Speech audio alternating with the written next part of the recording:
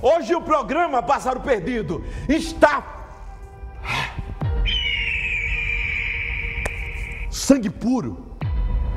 O corpo de um homem foi encontrado na manhã de hoje, escondido embaixo de um sofá.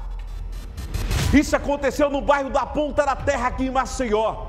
E a principal linha de investigação da polícia é que a vítima foi morta pelo colega de quarto. Meu Deus do céu, é aqui o bairro de Ponta da Terra, bairro maravilhoso que eu amo tanto, que vai trazer os detalhes desse homicídio. Ocultação de cadáver também. É a Thalita Sabrina. Vai, bota aqui no telão do plantão.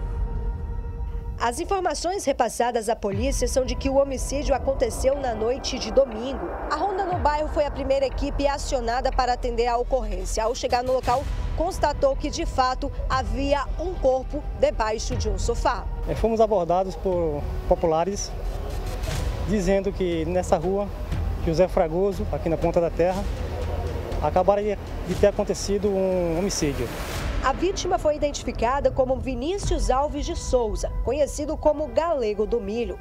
Ele era de Pernambuco, mas há aproximadamente um ano morava em Maceió. O crime foi cometido com uma faca e o corpo escondido debaixo de um sofá. Era um menino muito trabalhador, né? Dia a dia trabalhando todo dia, vendendo milho. Mas assim, as amizades, né, às vezes levam a gente ao precipício, né?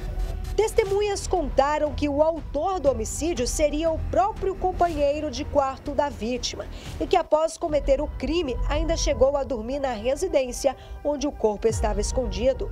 Além disso, informaram à polícia que a própria vítima sempre comentava ter cometido crimes em outros estados e que já se preparava para ir embora de Alagoas. A polícia já iniciou as investigações. Ele foi encontrado por baixo de um sofá com lesões de arma branca, é, bastante sangramento e tudo revirado. Acredita-se que pode até ter havido, é, havido luta corporal. Até então é, a vítima estava ainda não identificada, mas já hoje já está totalmente qualificada e o suspeito já está também, não temos a qualificação, mas já sabemos de quem se trata.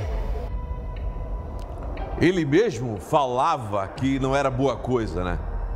Tinha cometido vários crimes em outros estados e foi morto pelo próprio amigo que morava, que dividia o quarto com ele, que moravam juntos, dividiam as alegrias em algum momento, tomavam uma cana. Foi executado a facadas, enrolado no lençol e botado embaixo do sofá. Eita mundo cruel, viu? O mundo tá pássaro perdido, tá cabexiga. Parou por aí não. Fica aí de plantão Alagoas você vai ver mais coisa, viu, bonitão? É, tá pensando em entrar no mundo da vagabundagem, da maloqueiragem? Fica aqui que tu vai ver a vida real. Aqui é realidade, viu?